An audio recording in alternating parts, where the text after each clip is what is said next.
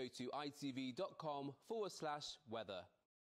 Here we go with the big finish. It's been uh, 20 years since Jack and Rose, aka Leonardo DiCaprio and Kate Winslet, stole our hearts in one of the most successful films of all time. It got 11 Oscars, Titanic.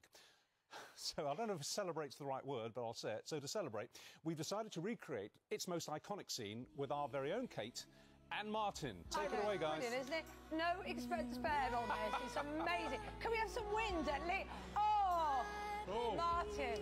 Oh. Are you oh. feeling it? It's like I'm really- flying, I'm really Martin. feeling it. It's like flying. I won't let go of it. Okay, please don't. We're not insured. Ah. Oh, well, there's the picture. It's amazing. It's amazing. Well, that worked, didn't it? And cut. Well done, guys. Well done. Don't fall in. Um, that's it. That's the end of my first show. Thanks go. very much for watching. Thanks for all the nice messages. Um, I've had fun.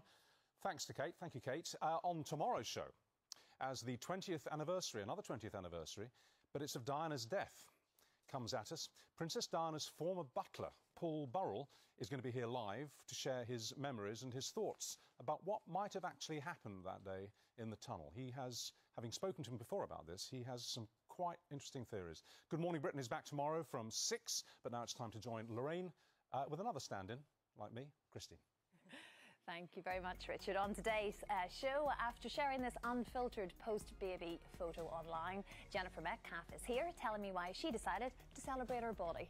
Also, we're behind the scenes in Emmerdale ahead of tonight's big wedding. Ross has news on a record breaker. Yes, Christine, why? Daniel Craig's return as 007 is cash Evan. It's a license to print lots of money, Penny. See what I did there, Christine? Yes, certainly you did. And, uh.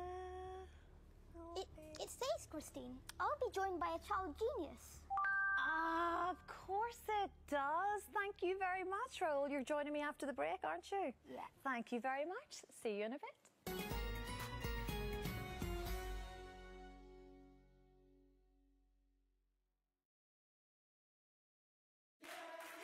My name's Nicola Adams. I'm